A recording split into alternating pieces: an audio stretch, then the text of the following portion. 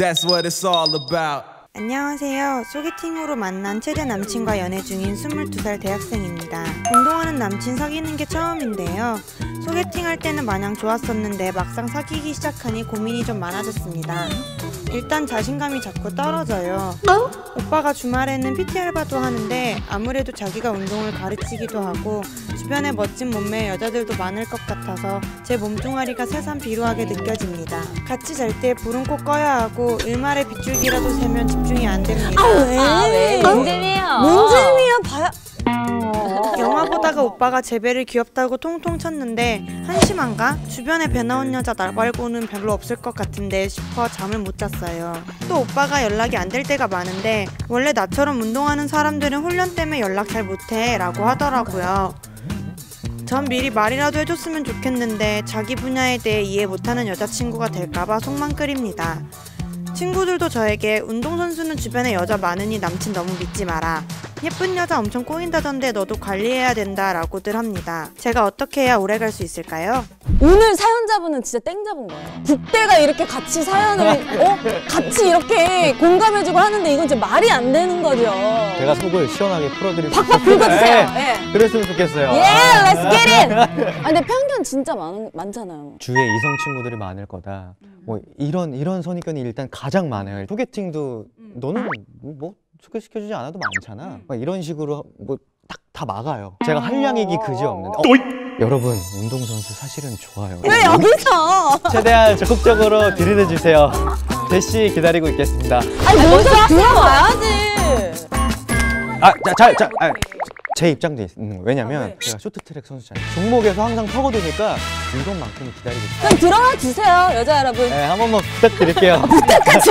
이거는 근데 또 직업군의 문제도 아니고 그냥 사람의 성향, 생각 원래 갖고 있는 그게 무엇인가가 더 중요한 부분인 것 같아요. 제 남동생도 국가대표 상비군을 어. 했을 정도로 스케이트 하는 동생이었는데 어 나 너무 귀여운 여자친구 생겼어 하면서 딱 보여줬는데 되게 통통했어요. 근데 너무 귀엽더라고요. 근데 그걸 보면 제 동생은 완전 근육 막 이런데 또 여자친구 그렇지 않단 말이에요. 여자친구의 모든 게 좋았기 때문에 사랑이 시작된 거지 뭐 똥배가 나왔다거나 뭐 이런 것 때문에 그 남자친구가 어 너무 막 관리도 안 하고 별로야 그럴 거였으면 같이 운동하는 사람끼리 만나고 사랑을 싹두고 그랬겠죠. 그니까. 운동선수라고 그렇게 몸 좋은 사람이 좋은 게 아니에요. 절대로.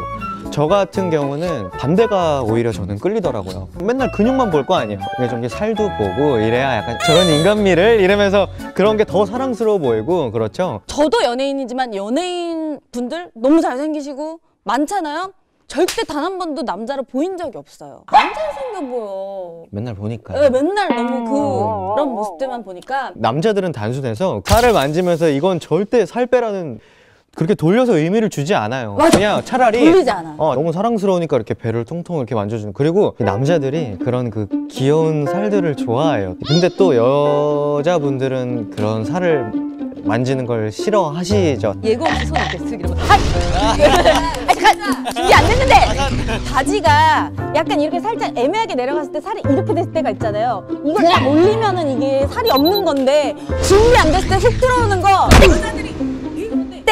접어놨을 때 손이 가요. 어, 어 접, 접어놨네 하면서.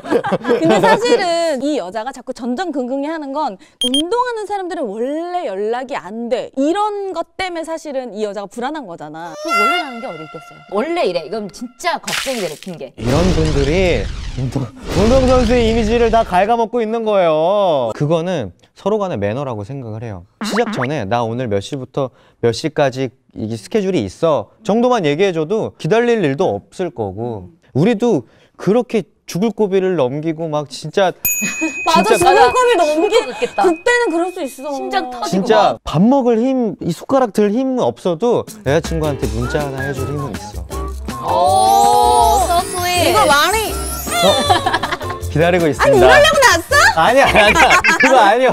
처음에 이 사연을 쭉 들을 때는 어 그래 우리도 막 8시간 동안 녹화 쭉 하고 그러면은 진짜 힘들어서 연락 못 할 수는 있거든. 각자 이제 직업군에 따라서 모든 직업이 또 힘든 부분이 있으니까 힘들게 뭐 감정 소모, 에너지 소모를 다 하고 그리고는 막 이러 이러고 있는데 또 어떻게 또 예쁜 말만 나오겠어요. 내가 죽겠는데. 그러니까 그렇게 생각하면은 이해할 수 있는 부분이긴 하나 만약에 일을 한다 해놓고 이제 뭐 인스타그램 업로드, 뭐 페이스북 뭐 이런 거 좋아요, 뭐 이런 많이 하면 혼나요. 그리고 솔직히 사연자분 솔직히 냉정하게 얘기해서 막 그 스포츠 스타 뭐 그런 것도 아니잖아요 남자친구가. 솔직히 그냥 학생이잖아요. 그러니까 그렇게 걱정 안 하셔도 될 것 같고 남자친구 주변에 뭐 예쁜 여자, 뭐 몸매 좋은 여자 많을 거다 하는 무성한 소문 속에 있는 그 사람들을 없어 없어 그런 사람. 그러니까 형체가 없는 그 지금 대상과 지금 싸우고 있는 것 같은데 싸우지 마세요. 그리고 진짜 좋은 남자는 자기가 운동한다고 여자를 불안하게 하지 않아요. 절대로. 절대. 네버 네버. 들으셨나요?